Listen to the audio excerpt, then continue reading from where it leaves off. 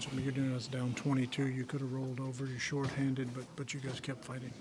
Uh, I mean, I think that just shows a lot about the guys on this team. You know, um, not once did anybody on the f- on the on the team on the floor or the bench give up. You know, everybody was ready to go. Everybody was going to continue fighting, and we uh, put ourselves in a position where we had a chance to win. You had four steals, six rebounds. You got your hands on a lot of balls. I mean, when you when you get the minutes, I mean, it seems like you can get in the flow. You can make a difference, right? Uh, I mean, absolutely. You know, I just been waiting for opportunity all year. You know, and get my opportunities here and there, and I'm trying to just take advantage of every one. You know, tonight I had a chance to go out there and and just play. You know, and not worry about anything else but playing, and that's what I did.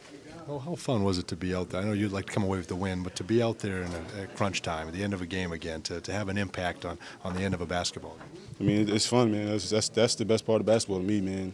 Those last couple minutes, everybody's going so hard trying to grind out a win. You know, um, unfortunately, we didn't get the win tonight, but I mean, it's, it's great. It's, it's fun to be out there in a close game like that, just going back and forth with the other team. Well, a couple minutes into the second half, they were shooting 70 percent, 69 percent, and you guys got them all the way down to 48. What what changed for you defensively?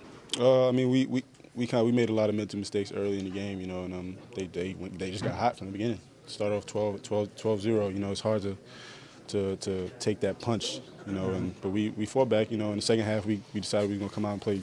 Everybody bought into playing a lot better defense.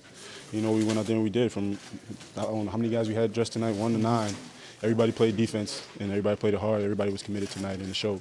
Well, how about the said at the beginning of the fourth quarter? Was anything said at the beginning? I mean, you guys were down, what, 16 points? Yeah. I mean, what was said there in that huddle between the third and fourth quarters? I mean, we've been in that position before. You know, we- we've been in that position before, and, and our, our goal was to get it down to 10 and make them call the first time out. And um, that's what we did. You know, we got it down to 10. They called, they blew the first time out. And we, uh, we had the momentum going our way, and we just we just kept it going. We just we had to get stops. You know, that's our biggest thing. Just get stops. Let the offense take care of itself. Was there a feeling with the group that if you just was there a feeling with the group that if you just stayed with it, you know, if you kept chipping away, you'd eventually be able to, to get back in and, and make a run at? it? Absolutely. You know, um, I mean, like I said, we, we've been in this position before, and we just got to just just keep fighting. You know, just keep getting stops. You know, it's one stop turns into two stops, three stops, and next thing you know, we're down four.